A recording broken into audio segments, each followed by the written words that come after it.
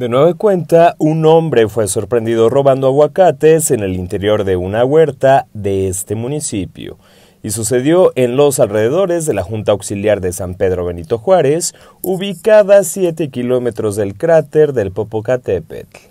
La anterior situación pasó apenas una semana después de que un par de centroamericanos de igual manera quedaron cachados infraganti cortando esa fruta para comer algo en la Junta Auxiliar de la Trinidad Tepango.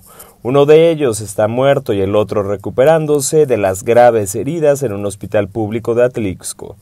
En el último caso, los lugareños decidieron organizarse y acompañar a los elementos de seguridad ante la gente del Ministerio Público. Todo esto con el fin de que el implicado obtuviera de manera rápida la libertad. Testigos indicaron que el presunto ladrón intentó huir, que varios pobladores ya seguían su rastro.